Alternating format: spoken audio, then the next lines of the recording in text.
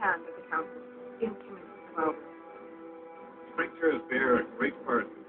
They are protectors of galactic peace, both our first and last line of defense. The safety of the galaxy is theirs to uphold. You are the first human special commander. This is a great accomplishment for your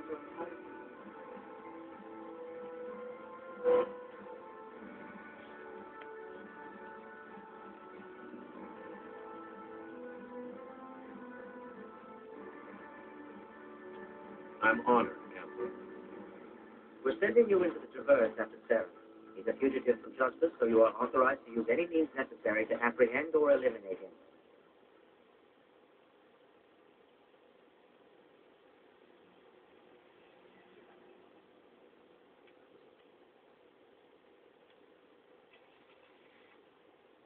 I'll find him.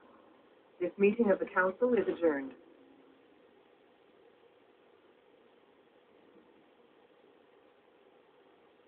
Congratulations, Commander. You've got a lot of work to do, Shepard. You're going to need a ship, a crew, supplies. You will get access to special equipment and training.